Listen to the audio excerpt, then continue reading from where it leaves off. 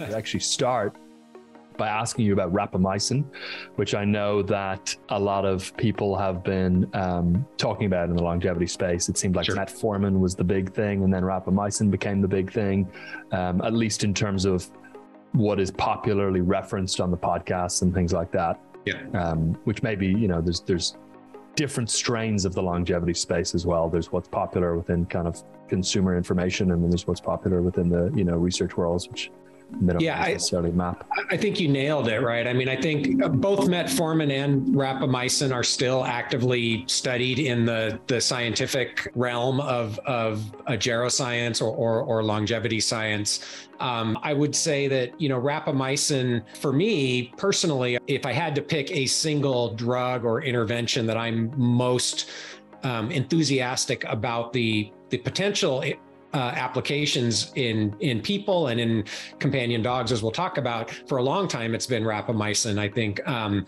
you know it's been clear to me that that that really is the most effective and reproducible drug for increasing lifespan broadly improving health span in laboratory animals for, for many, many years. Um, I think what we're seeing now is that more people are comfortable talking about rapamycin um, on popular podcasts or or or in the media. And that has had sort of a follow-on effect of it gaining more more attention. I think part of it is that we're starting to learn a lot more. You know for a long time we've known that in laboratory animals this drug was really very effective at increasing lifespan and health span. We're starting now to get the first hints that there may be some similar kinds of effects in the real world. And i think that's also contributing to recognition outside of the the scientific community that this is something that's interesting and we should pay attention and we should be studying uh, in greater depth for for healthy longevity in dogs and potentially in people as well. Mm. Could, could you speak a little bit, Matt, to what has been found in animal studies with rapamycin, um, and then what the mechanism of action is, and you know, thus the reason there may be similar carryover effects for humans. Sure. So, uh, so in terms of what we know about the the effects of rapamycin.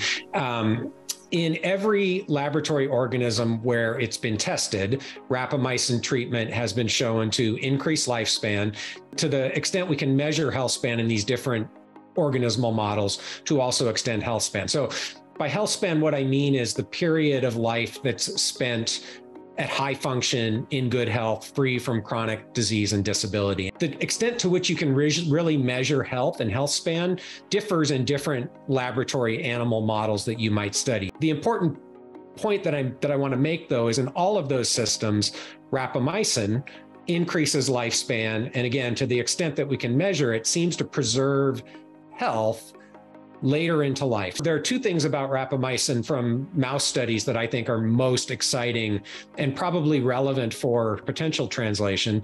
One is it seems like you don't have to start the treatment until middle age. And in fact, transient treatments just during middle age in mice are enough to give you pretty much the full increase in lifespan and increase in health span. And that's really important when we think about doing this in people or in companion animals. You want an intervention where you can start the treatment during middle age and maybe not have to even take it for the rest of your life.